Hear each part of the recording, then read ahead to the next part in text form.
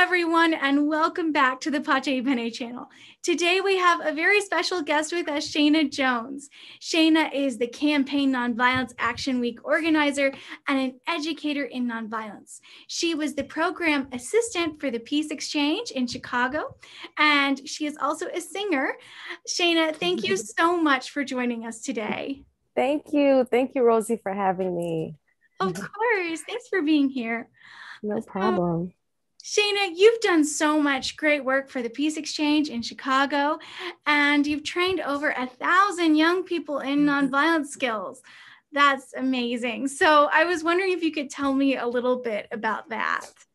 So, you know, what's awesome about um, the trainings that we did with the Peace Exchange is it actually started um, outside of the United States. So we went and we traveled around the world learning different peace techniques from um, different peace leaders. And one of the lessons that we ended up bringing into the United States and teaching to the Chicago Public School District is called nonviolent communication. And that the bare bones of that actually comes from a, um, a peace leader in India that we learned um, this technique from, or this kind of, it's a way of nonviolent communication. And it's a way to kind of com- communicate if there's any type of conflict, or even if you're just trying to get over a small issue with your parents it's just a really cool technique to use. So it actually comes from India and it's a four step process. And uh, what I did is actually adapted it to um, be taught to fourth through eighth graders. So the Peace Exchange mostly like taught fourth through eighth graders. But what we did is we taught it through a drawing. And so it had like four parts, but it had like four body parts so they could remember. So the first step was like um, to observe and see and like take the situation for exactly what it is. Don't add to it. So we drew a head and had eyes. Then the next step was a heart. Express how you feel. How did it make you feel? Use actual emotions like sad, happy, and make sure you just speak from your point of view. And then, like, the next thing was a stomach, like a circle. And it meant needs. Like, we have to make sure we all get our needs met. So, express what need you need, well, what need you have in this type of uh, conflict or whatever the problem is and the fourth step uh, was legs, like the action step. Then ask someone to help you meet that need or ask what they can do to, um, or let them know what they can do to help you out. So that was like the main uh, core lesson that we taught to the youth. And again, like you said, it's been like all around Chicago. We were able to te- teach youth, and it was actually pretty cool because um, they would write to us afterwards like oh my gosh that really helped or i was able to talk to my mom about this or i had a student that was bullying me and i let them know what was going on and when i actually talked to them it worked and they stopped messing with me and things. So it really helped at that lower level but i feel like that was also a very important level because um, a lot of times when we don't get this training and like this peaceful uh, peace resolution type of training at a young age that's when we grow up and kind of like get stuck in our own ways and like it's like t- not too late but it's harder to instill when you like get into high school and adulthood so I feel like that childhood age was like the key point to like you know make sure children are kind of receiving a new way to um, combat conflict Oh wow, that's amazing. I love that. Both of my parents are teachers, so I, awesome. I think these are amazing tools. Mm-hmm. Um, and an event that I know a lot of us at Pace Bene are really excited about is the For Goodness Sake event, our music yes. festival. Uh, it's happening later this summer, August. Um, you can find it on our website, anybody who's watching. I was really happy to see that you're going to be singing. Um, yes. Could you share with us about how music can aid in nonviolence movements?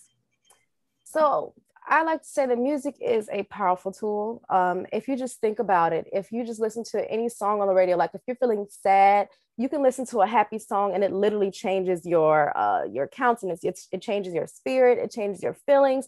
So music itself is just powerful because a tune can literally change everything about you and, and your whole situation. Um, so for me, I feel like music is a powerful tool in peace because just like how there's um, negative tunes and like you know a lot of violent tunes that come out a lot of times that affects the youth and kind of like trains them to hey like this is how i should act well the same thing can happen on the flip side with peaceful music and putting out positive words that can literally change transform the atmosphere and also like uplift people's character uplift people's mind and also give them a new way to think so for me i think music is a powerful tool because one we also can connect. We all connect with music. I don't think there's anyone that's just like, I can't stand any type of music. Like it's just so many different types of music that like, you know, it has to resonate with everyone. And then on top of that, like I said, the power of the words and the beat, it's like it's catchy. You know, I don't know if you had like any like a commercial jingle sometimes it gets stuck in your head and it's literally like like it could be so basic and not even have like real words and stuff, but that's just the power of music. It can get stuck in your head and that's why it's important too what you put out in your music because that's something that can like you know resonate with people and just change their atmosphere for good or negatively if you choose the wrong way so yeah. well i know we all can't wait to see you sing thank you so yes. much um, and my last question is what does nonviolence mean to you so for me nonviolence is um, lack of chaos it means also order but also what it means to me is loving yourself enough and taking care of yourself enough so that you don't emit negativity and violence into the atmosphere and the people around you. So for me, nonviolence is learning to love yourself and be peaceful with yourself first